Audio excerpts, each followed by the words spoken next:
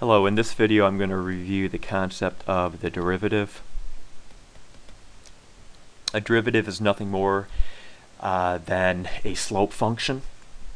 So when you think derivative, think, think slope function. Uh, so for example, a derivative will just measure the slope of the original function at a given point. Maybe our original function, just in general notation, looks something like this. y is a function of x. So the derivative will measure the slope of that function at any value of x. Ways to denote that you're taking a derivative, some common ways of doing that. Could be written like that. Uh, also, f prime of x is a common way of notating a derivative and also y prime. So what I'm going to do now is go through some rules of differentiation I'm going to label or name these rules. And the first one here is the constant function rule. Here y is uh, just equal to some constant. If we're going to take the derivative of this, we are going to always get back 0. So for example, if y equals 2.5, the derivative is 0 y equals 4, the derivative is 0.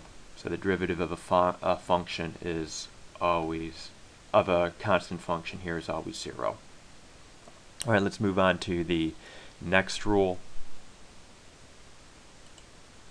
Oops.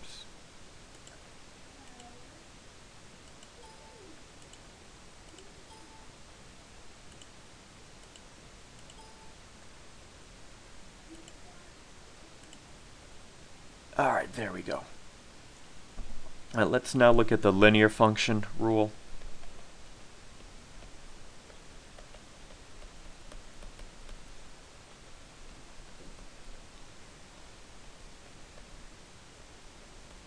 We're going to write an equation, general equation for a line, y equals mx plus b. If you might recall from calculus, m is the slope, b is the vertical intercept. And as we're going to see when we take a derivative, derivative being nothing more than a slope function, we get back the slope. Okay, m. b is a constant, and as we know from the last rule, the derivative of a constant is zero, so b doesn't hang around here in the result.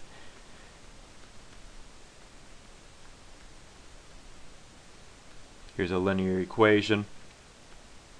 I'm going to take the derivative of this according to the rule, we're just going to get back here the m, which is 4 in this case.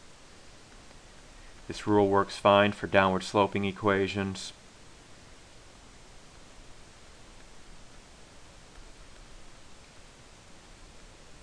The derivative here is going to equal minus 1.5, the slope of this downward sloping line.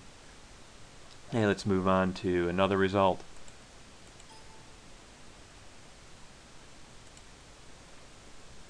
Let's go to the power function rule.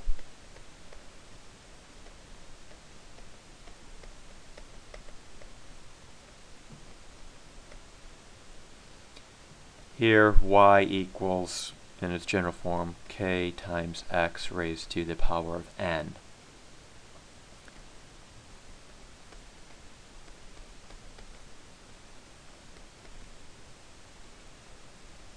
This is the derivative of a power function. Basically, there are two steps involved. First, we bring down the n in front, okay, and then we're going to subtract 1 from n. An example.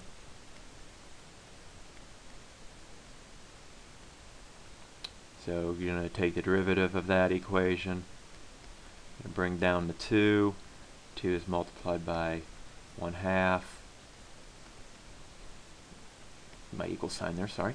And this will just equal x. Okay, the 2's cancel.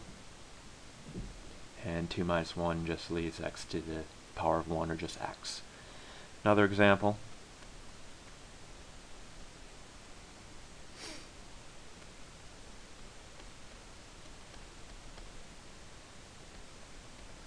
Get something like that, just 6x.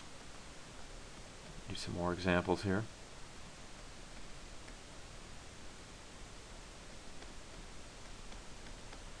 Bring down the 3 in front. 3 is going to be multiplied by 4, so you get 12. And you'll be left with 2. Do uh, another example, see if I can squeeze one in over here.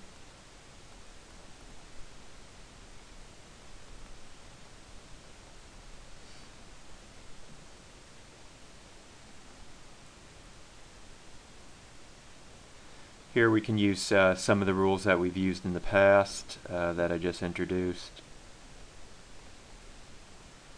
So the derivative of a constant is 10. Here we got the derivative of uh, 4x is just going to be 4. And then the power function rule on the last part, we're going to get 4x. So that is the example of the power function rule. Moving on. Oops, didn't want to do that. There we go. Uh, moving on. Let's take a look at um, the product rule.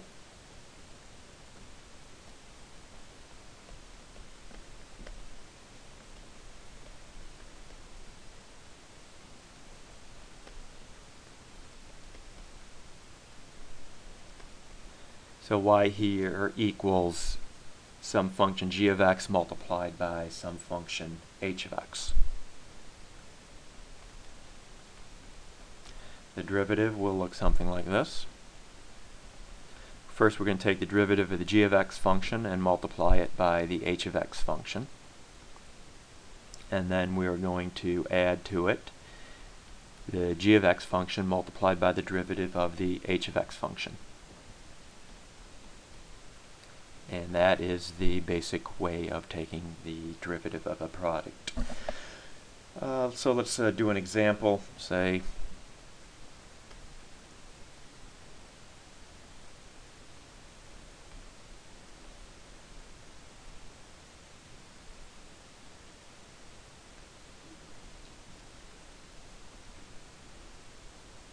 Okay, so we've got the g of x part here and the h of x part. Taking the derivative of what's in parentheses first, you're going to get 4x. That's going to be multiplied through by 2x plus 3.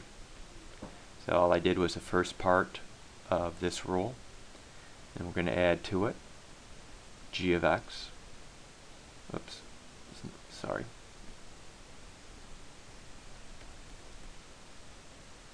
multiplied by the derivative of h of x, the derivative of what's in parentheses, parentheses here, 2x plus 3 is just 2.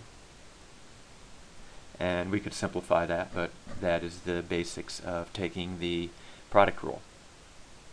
Let's move on to a new one. Uh, let's uh, briefly look here at the quotient rule.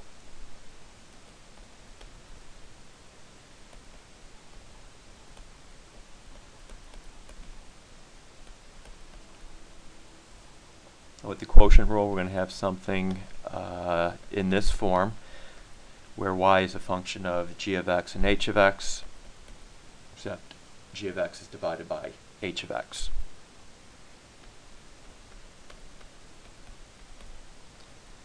The first thing we want to do here is just square what's in parentheses.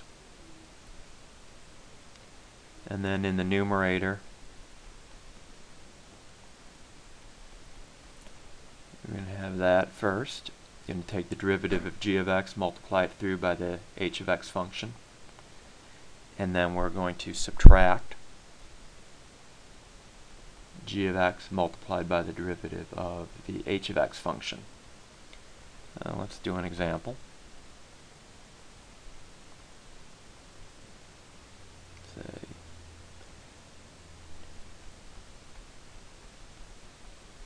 So we don't want to take the derivative of that result.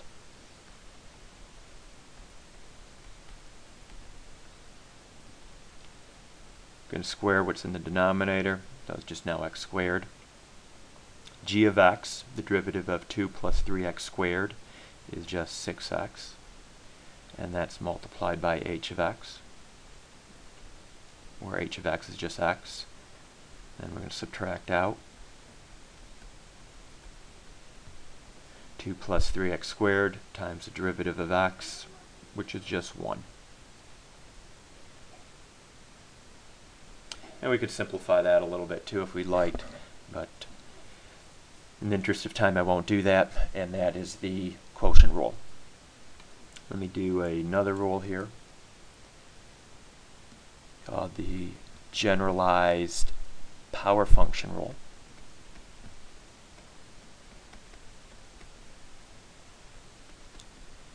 And with the generalized power function rule, I'm going to write it in the basic format like this. So some function here, g of x, is raised to the power n. The derivative of this will look like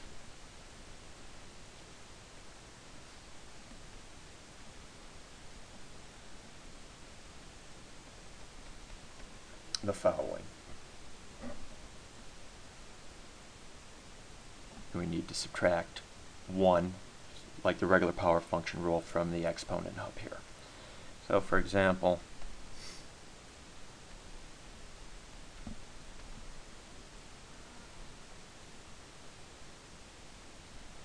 take the derivative of this,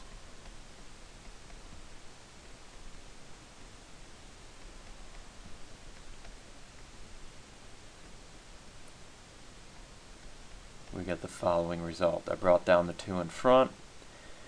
From the 2 I subtracted 1 and then I multiplied by the derivative of x squared plus 3, which is just 2x. Okay. Let me take a break now.